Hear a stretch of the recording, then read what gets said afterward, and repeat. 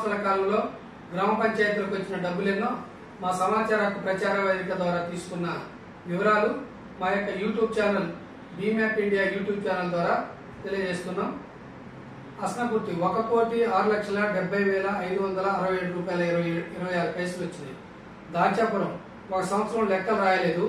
తొంభై నాలుగు లక్షల ముప్పై నాలుగు వేల డెబ్బై ఆరు రూపాయలు వచ్చింది గన్నవరం ఒక కోటి యాభై ఆరు లక్షల పది వేల ఐదు వందల ఎనిమిది రూపాయలు.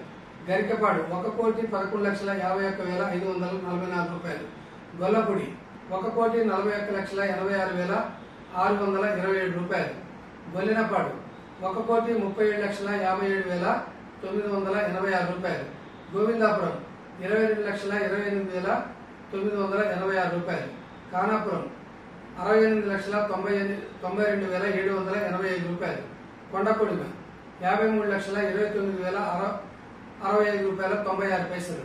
కాష్టాల ఇరవై ఇరవై లక్షల ఇరవై ఏడు వేల నూట ఇరవై తొమ్మిది రూపాయలు. లక్ష్మీపురం నలభై మూడు లక్షల నలభై నాలుగు వేల నాలుగు వందల యాభై ఒక్క రూపాయలు. లింగనపాలెం అరవై రెండు లక్షల అరవై మూడు వేల నూట నలభై నాలుగు రూపాయలు. ముసలమడుగు ఎనభై ఐదు లక్షల నలభై ఐదు వేల మూడు వందల యాభై మూడు రూపాయలు. నారవా నార నారపనేని పాలెం అరవై ఎనిమిది లక్షల నలభై మూడు వేల తొమ్మిది వందల తొంభై మూడు రూపాయలు. పాలడుగు ఒక కోటి పద్దెనిమిది లక్షల యాభై ఐదు వేల తొంభై ఆరు రూపాయలు. పుణ్యపురం ఎనభై ఆరు లక్షల ముప్పై ఐదు వేల తొమ్మిది వందల ముప్పై రెండు రూపాయలు. రెబ్బవరం ఒక కోటి తొంభై తొమ్మిది లక్షల ఐదు వేల నూట డెబ్బై తొమ్మిది రూపాయల తొంభై ఐదు పైసలు. సిరిపురం కేజీ ఒక కోటి తొంభై నాలుగు లక్షల ఎనభై ఏడు వేల మూడు వందల పదహారు రూపాయల యాభై పైసలు. స్టేజ్ పినపాక ఇరవై ఆరు లక్షల ముప్పై ఎనిమిది వేల ఎనిమిది వందల ఒక్క రూపాయలు. తాటిపుడి ఒక కోటి అరవై మూడు లక్షల యాభై మూడు వేల ఎనిమిది రెండు వందల ఎనభై ఆరు రూపాయల యాభై పైసలు. కొల్లాపురం డెబ్బై ఎనిమిది లక్షల పదివేల నాలుగు వందల పది రూపాయల యాభై నాలుగు పైసలు. విప్పల మడక ఒక కోటి నాలుగు లక్షల యాభై ఆరు వేల ఏడు వందల తొంభై ఐదు రూపాయల ముప్పై పైసలు. మొత్తంగా చూసినప్పుడు వైరా మండలంలో ఇరవై నా ఇరవై రెండు గ్రామాల పంచాయతీలకు గాను మొత్తం ఇరవై ఒక్క కోట్ల నలభై నాలుగు లక్షల ఇరవై తొమ్మిది వేల తొంభై ఆరు రూపాయల యాభై ఎనిమిది పైసలు వచ్చినాయి. ఇవి కాక ఆయా గ్రామాలకి ప్రకృతి వనం కింద శ్మశాన వాటికల కింద అదనంగా డబ్బులు వచ్చినాయి. అవన్నీ కూడా సమాచార చట్టం ద్వారా తీసుకోవచ్చు. ఈ గ్రామ పంచాయతీల వివరాలన్నీ కూడా రాష్ట్రంలోని ఏ గ్రామం ఏ జిల్లా ఏ మండలానికి చెందిన వారైనా వారి గ్రామాల్లో ఎన్ని రోడ్లు పోశారు ఎన్ని లైట్లు వేశారు ఏం పనులు చేశారు ఒక్కో పనికి ఎంత ఖర్చు అయిందనే వివరాలు మీరు తెలుసుకోవాలంటే మీరు మాకు మీ గ్రామంలోని స్కూలు పాఠశాల కానీ లేదంటే ముఖ్యంగా గ్రామ పంచాయతీ ఆ బోర్డు కనపడే గ్రామ పంచాయతీ కార్యాలయం కనపడే విధంగా మీరు ఒకరు ఇద్దరు ముగ్గురు నిలబడి అంటే ఎవరైతే ఈ గ్రామానికి మీ గ్రామానికి సంబంధించిన పూర్తి రోడ్లు వివరాలు ఖర్చులు లెక్కలు ఇవన్నీ జరిగిన పనులు జరిగిన పనులు జరగని పనులు అన్ని తెలుసుకోవాలనుకుంటే వాళ్ళు ముగ్గురికి మించకుండా ఒక నిలబడి ఒక దగ్గర ఫోను ఎదుటి వాళ్ళతోటి ఫ్లైట్ మోడ్లో పెట్టించి మంచి వీడియో వచ్చే విధంగా ఫోన్ చేసి ఫోన్ అడ్డంగా పెట్టి ఆ బోర్డు మీరు కనపడే విధంగా వీడియో తీయండి. అందులో ఏమంటే మీ పేరు చెప్పండి. మీ ముగ్గురు ఇద్దరు ఎంతమంది ఉంటే అంతమంది పేర్లు చెప్పండి. ముగ్గురికి మించకుండా. పేర్లు చెప్పండి మీ సెల్ నెంబర్ చెప్పండి మీ ఊరు మీ మండలం మీ యొక్క జిల్లా. మీరేం కోరుతున్నారు అని అంటే మీరు నిజంగా మీకు అవసరం ఏమో మీ గ్రామ పంచాయతీలో నిధులు లెక్కలు కావాలంటారా ఏం కావాలంటారో ఏం జరుగుతుందో మీరు వీడియో తీసి ఆ వీడియో ద్వారా ఈ వీడియో ద్వారా మేము సమాచార హక్కు ప్రచార వేదిక వారిని వారి యొక్క YouTube channel B map India ద్వారా మా గ్రామ లెక్కలన్నీ కూడా వీడియోలో బీ మ్యాప్ ఇండియా యూట్యూబ్లో పెట్టవలసిందిగా కోరుతున్నాము. అని మీరు ఒక్క నిమిషంకి మించకుండా ఒకసారి మళ్ళీ ఒకసారి చూసుకొని నిమిషమే వస్తుందా ఎక్కువ వస్తుందని చూసుకుండా ఒక ఐదు ఆరు సెకండ్లు అటు వచ్చినా కూడా ఆ వీడియో మాకు పెడితే పెట్టిన తర్వాత కూడా మేము ఒకవేళ చూసుకోకపోతే మీరు మళ్ళీ ఒకసారి ఫోన్ చేసి వాట్సాప్లో పంపించిన తర్వాత ఫోన్ చేసి మేము వాట్సాప్ అలాని ఓళ్ళం పంపామండి. మీరు యూట్యూబ్లో పెట్టండి అంటే మా యూట్యూబ్ ఆఫీస్ వాళ్ళకి మీ వివరాలు ఇస్తాం. లేదంటే ఇదే వీడియోలో నేను మా ఫోన్ నెంబర్ కూడా దాంట్లో చెప్పాను. దానికి ఫోన్ చేసినా కూడా సరిపోతుంది. అలా చేసి మీ మీ గ్రామాలకు సంబంధించిన వివరాలన్నీ కూడా మీరు తెలుసుకొని మేము పంపించిన వీడియోలు మీకు వచ్చిన మీ గ్రామ లెక్కలు వచ్చిన తర్వాత వాటన్నిటిని మీ గ్రామంలో ఉన్న అన్ని గ్రూపులకి అందరి ఫోన్లకి తెలియజేయండి. ఆ వివరాలన్నీ తెలుసుకున్న తర్వాత మీరు మీ గ్రామ పంచాయతీలో లెక్కలని బయటికి తీయాలనుకున్న వాళ్ళందరూ కలిసి ప్రత్యేక గ్రామ సభ పెట్టండి. నలభై ఎనిమిది గంటల ముందు చాటింపు వేయండి అని చెప్పి సెక్రటరీ గారితో మాట్లాడండి. అట్లా పట్టించుకోకపోతే మీరు ఒక ఫిర్యాదు రాసి మీరు మా గ్రామ పంచాయతీకి స్పెషల్ ప్రత్యేక గ్రామ సభ పెట్టమంటే పెట్టట్లేదు అని చెప్పి పెట్టించగలరు. మా లెక్కలు మాకు చెప్పగలరు అని చెప్పి మీరు మండల పంచాయతీ అధికారి మండల అభివృద్ధి అధికారి జిల్లా పంచాయతీ అధికారి జిల్లా కలెక్టర్. వీరి నలుగురికి దరఖాస్తు రాసి ఒకే దరఖాస్తు రాసి దాని మీద నలుగురు పేర్లు రాసి మీరు మీ ఊళ్ళో ఎంత ఎక్కువ మంది వీలుంటే అంతమంది ద్వారా దాని వాళ్ళ పేరు వాళ్ళ సెల్ నెంబర్ వాళ్ళ సంతకం పెట్టించండి. ఎవరి సంతకం వాళ్ళే ప్రజలు పెట్టాలి. అట్లా పెట్టిన తర్వాత మీరు కాపీ ఒకటి మీ దగ్గర ఉంచుకొని మిగతాయి ఆయా అధికారుల ఆఫీసులో ఇచ్చి ముద్రన్న మీ దగ్గర ఉన్న కాపీ మీద ముద్రించుకోండి లేదంటే మీరు రిజిస్టర్ పోస్ట్ ద్వారా పంపి ఆ రిజిస్టర్ పోస్ట్ రసీదులు మీ దగ్గర ఉంచుకోండి. ఆ తర్వాత పది రోజులు ఆగిన తర్వాత అయినా కూడా ఏమి చర్యలు లేకపోతే మీరు లోకాయుక్తలో ఎటువంటి లాయర్ అవసరం లేకుండానే మీరు లోకాయుక్తుల కేసు వేయచ్చు. ఈ అధికారులు ఇక్కడ ఉన్నా పోయినా ఈ సర్పంచ్ గారు సెక్రటరీ గారు వెళ్ళిపోయినా రిటైర్ అయినా ఈ పదవి పైన దీనికి వారు సమాధానం చెప్పాల్సి ఉంటుంది. ఏరే చోటికి వెళ్ళిపోయినా రిటైర్ అయినా కూడా వెళ్ళిపోవాల్సి ఉంటుంది సమాధానం చెప్పాల్సి ఉంటుంది. కాబట్టి అటువంటి సహకారం మా నుంచి మీకు అందిస్తాము. మీరు దాన్ని ఉపయోగించుకోవాల్సిందిగా సమాచార హక్కు చట్టాన్ని సద్వినియోగం మాత్రమే చేయవలసిందిగా కోరుతున్నాను.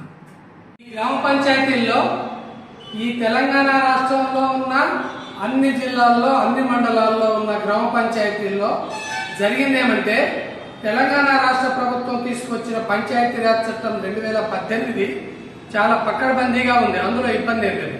కానీ ఆ చట్టం ఎక్కడ కూడా కనీసం ఎనభై శాతం కూడా అమలు జరగట్లేదు. రిజర్వేషన్ల ద్వారా ఎక్కడైతే మహిళలు సామాజికంగా వెనకబడ్డ తరగతుల వాళ్ళు గెలిచారో అక్కడ ఆయా గ్రామాల్లో ఒక్కటి రెండు శాతం తప్ప అక్కడక్కడ కొంతమంది మంచి ఉద్దేశంతో వాళ్ళకి సహ సహకరిస్తే ఆ రిజర్వేషన్లో గెలిచిన వాళ్ళని ప్రోత్సహిస్తున్నారు తప్ప ఎక్కువ శాతం తొంభై ఎనిమిది తొంభై తొమ్మిది శాతం ఆ ఊళ్ళో ఉన్న దొరబాబులు అయ్యగారులు బాబులు చిన్నబాబులు పెద్దబాబులు అగ్ర కులంలో అగ్రకులంలో ధనవంతులు ఇతర కులాల్లో ధనవంతులు అధికార పార్టీ వాళ్ళు మాత్రమే అక్కడ పెత్తనాలు చేస్తున్నారు. కొంతమంది రిజర్వేషన్ల ద్వారా మహిళలు సామాజికంగా వెనుకబడిన తరగతుల వాళ్ళ ఆ కుటుంబాల్లో గెలిచిన వాళ్ళు ఆ కుటుంబ సభ్యులు అక్కడ ఎవరు గెలిచినా వాళ్ళని ఎల్లయ్య పుల్లయ్య రాజుగారు బాబు గారు గెలిచారని వాళ్ళ ప్రచారమే జరుగుతుంది. అసలు సర్పంచ్లకి సర్పంచ్లు గెలిచినమనే పరిస్థితే తెలియదు. రెండోది స- ఈ పంచాయతీరాజ్ చట్టంలో ప్రతిరోజు సర్పంచ్ ఆ గ్రామంలో ఉన్న ఉద్యోగస్తులందరూ వివిధ రకాల డిపార్ట్మెంట్ వాళ్ళందరూ కూడా వచ్చి సెక్షన్ థర్టీ టూ ప్రకారం ఉదయం సంతకాలు పెట్టాలి. గ్రామ కార్యదర్శి గారు అదే ఊళ్ళో ఉండాలి. ఉంటున్నారా ఎక్కడైనా? నూటికి ఒకటి రెండు శాతం మాత్రమే ఆ గ్రామాల్లో ఉంటున్నారు. ఆ గ్రామంలో ఆ సెక్రటరీ గారు అక్కడే ఉండకపోతే section thirty two sub section one clause G ప్రకారం ఖచ్చితంగా వాళ్ళని సస్పెండ్ చేయాలి. కాబట్టి ఈ ఇది గమనించాలి. దీంతో పాటు దీంతో పాటు ఈ ఈ గ్రామాల్లో ఎక్కడ కూడా నెలకొక్కసారి ఖచ్చితంగా గ్రామ పంచాయతీ సమావేశం జరగాలి. గ్రామ సభ ప్రతి రెండు ఒకసారి జరగాలి. అంటే రెండు వేల ఇరవై రెండు జనవరి నాటికి మొత్తం ఈ గ్రామ గ్రామాల్లో పద్దెనిమిది గ్రామ సభలు జరగాలి. జరిగినాయా? ఎక్కడ జరగలే. ఒకవేళ గ్రామ సభలు పెట్టినట్టుగా రికార్డులు ఇంటికి పోయి వార్డు మెంబర్ల సంతకాలు ఇంకొక ఇద్దరు సంతకాలు పెట్టి ఇది గ్రామ సభ అయిపోయిందని అంటున్నారు. కనీసం టెన్ పర్సెంట్ అయినా ఆ గ్రామ ప్రజలు హాజరైతే అది కనీసం నడిచినట్టు లెక్క. రెండోది రాష్ట్రం మొత్తంలో ఎక్కడ కూడా పంచాయతీ రికార్డులలో చూస్తే ఎక్కడ సక్రమంగా రసీదులు బిల్లులు ఉండవు. ఉండకపోగా అక్కడ సిమెంట్ రోడ్లు పోసి ఈజీగా డబ్బులు కాజేసినాయి. అన్ని పంచాయతీల్లో కనపడుతున్నాయి. ఇదే తెలంగాణ రాష్ట్ర ప్రభుత్వం తీసుకొచ్చిన పంచాయతీరాజ్ చట్టం రెండు వేల పద్దెనిమిది నూటికి నూరు శాతం ఎక్కడ అమలు జరగట్లేదు. ఇదే ముఖ్యమంత్రి గారు నేను పంచాయతీ సమావేశాలకు పంచాయతీ రికార్డులు చూస్తానికి వస్తున్నాను. మీరు జాగ్రత్త అని చెప్పాడు. ఆయన చూడలేదు వీళ్ళు జాగ్రత్త పడలేదు. రెండోది గ్రామ కార్యదర్శులకు మేము వ్యతిరేకం కాదు. గ్రామ కార్యదర్శులు చాలా మంది వాళ్ళతో మిలాఖతై కాంట్రాక్ట్ వచ్చిన పనులు కానీ ఇతర బిల్లులు కానీ కొంతమంది పంచుకుంటున్నారు. కొంతమంది వాటిని నిరాకరించినా కూడా అక్కడ వీళ్ళు కాంట్రాక్ట్ ఉద్యోగాల్లో ఉన్నారు కాబట్టి పర్మనెంట్ కాకపోతే ఇబ్బంది అయితే అని చెప్పి వాళ్ళకి సిలిండర్ అయి తప్పుడు బిల్లులు చేస్తున్నారు. టోటల్గా చూసినప్పుడు ముప్పై శాతం నిధులు వాళ్ళు మింగేస్తున్నారు. గ్రామ ప్రజలకు చెప్పట్లేదు. అడిగిన వాళ్ళ మీద కేసులు పెడుతున్నారు లేదంటే సామధాన పేద దండోపాయాలు ఉపయోగిస్తున్నారు. మా సమాచార హక్కు ప్రచార వేదిక ఏం చెప్తున్నదంటే మా యొక్క బీము బీమ్యాప్ ఇండియా ద్వారా తెలియజేస్తున్నది ఏమంటే ఖచ్చితంగా మీరు ఆ నిధులు ఆర్టీఐ ద్వారా అడగచ్చు లేదా ఈ రాష్ట్రంలో ఉన్న పన్నెండు వేల ఏడు వందల నలభై ఒక్క గ్రామ పంచాయతీల్లో ఆ లెక్కలు మొత్తం మా సమాచార హక్కు ప్రచార వేదిక దగ్గర ఉన్నాయి మేము విడుదల చేస్తున్నాం.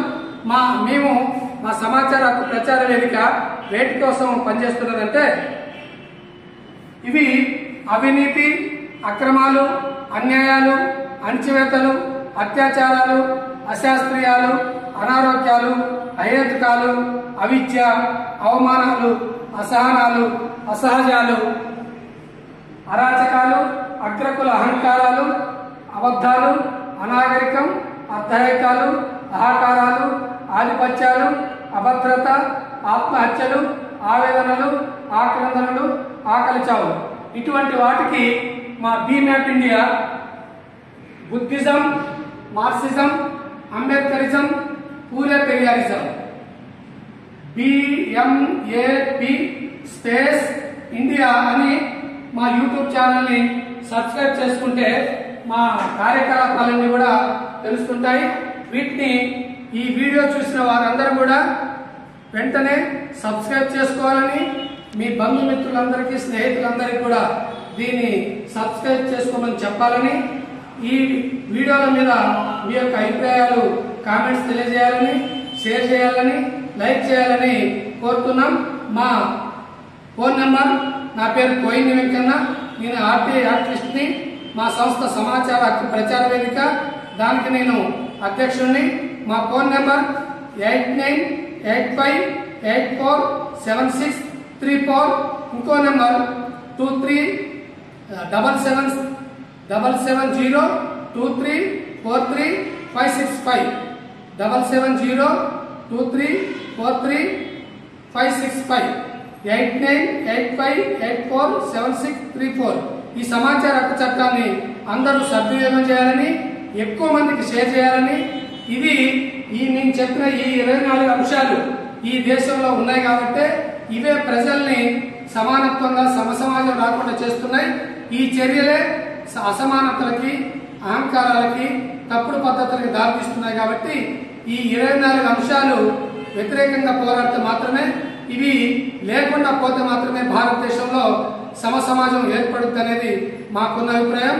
ఆ Buddhism Marxism Ambedkarism Phule Periyarism కలిపి ఒక ప్రజా ఉద్యమంగా చేసిన రోజే భారతదేశానికి పరిష్కారం అని చెప్పి కోరుతున్నాం. సెలవు.